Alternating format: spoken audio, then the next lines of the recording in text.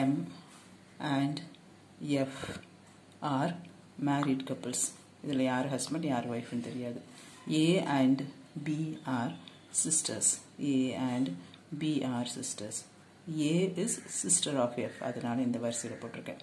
A is sister of F then who is B to M இவங்க ரெண்டு பேர் sisters அதே who is B to M right இது ஒய்ஃபாகவும் இருக்கலாம் ஹஸ்பண்டாகவும் இருக்கலாம்.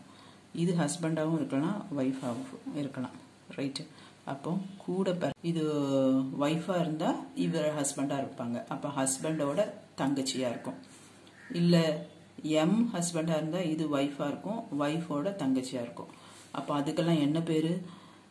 Sister in law